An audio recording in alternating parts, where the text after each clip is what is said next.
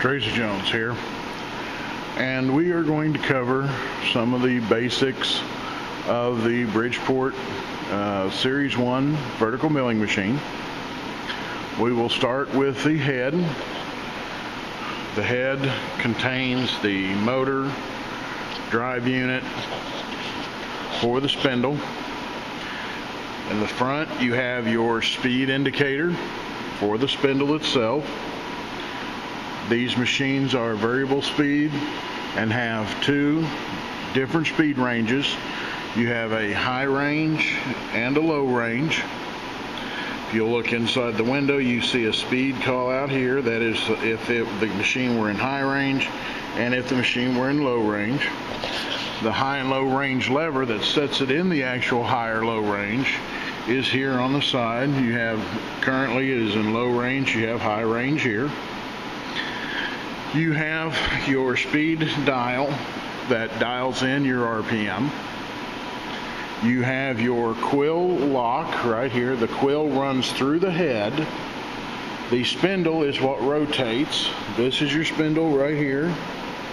This is your quill lock. This is your quill hand control right here. This will be used for drilling. You notice the quill now comes out. The quill does not rotate, but the spindle does. For your drilling operations, it is set up so that it can raise and lower with the handle. But for milling operations, you want it all the way up. And you notice you have a mill, you have a stop here for the quill that you can adjust for depth of depth drilling. But for milling, you want the quill all the way up and locked. Gives it more support and more strength. You have your handbrake right here for the spindle. You have your power switch that turns the actual motor off and on. And you have your drawbar right here. Your drawbar is threaded on the end and is what actually threads the tooling into the spindle itself. Now, for basic operations, we're going to set some RPMs and make some adjustments.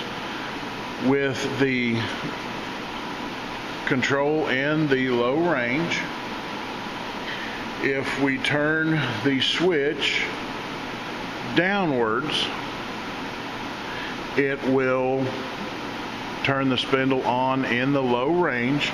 Right now it's set approximately 120 RPMs and it'll rotate in a clockwise direction. So we turn the switch down,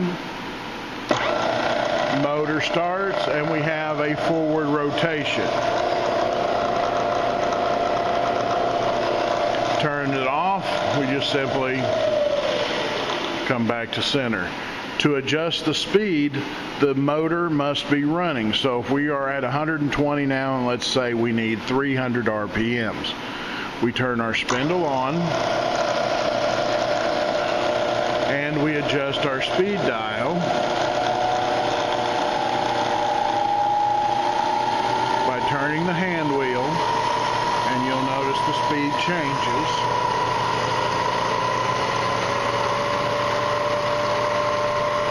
Three hundred RPMs.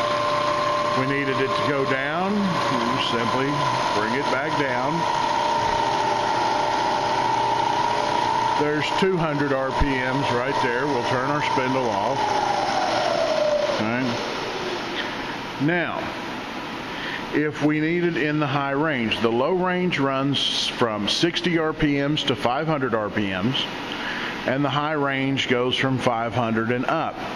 So if we needed to run a faster RPM than 500, we would have to set our RPMs, our uh, gear into the high range. To do that, we would come over here. We would take the handle, push it in. Now it is spring loaded, so we'll try to come forward on its own, so carefully hold on to it, let it come forward. At this point, it is not yet in gear. Okay? To make sure it is in gear, we're going to take a hold of the spindle and turn it by hand until the lever goes up, just like this. Now it's in the high range. So now that we are in the high range, we will turn our switch upwards. And we are running approximately 1800 RPMs and we can adjust it from there. That is how you adjust the speed and gear on the Bridgeport Series 1 milling machine. Remember, we have the drawbar on top, our power switch, our spindle brake, our spindle speed indicator, our spindle speed hand wheel, our speed range high-low lever, we have our spindle, we have our quill, we have our quill lock, we have our quill hand feed, and we have our quill stop. That's how to power up the head of the Bridgeport Series 1 milling machine.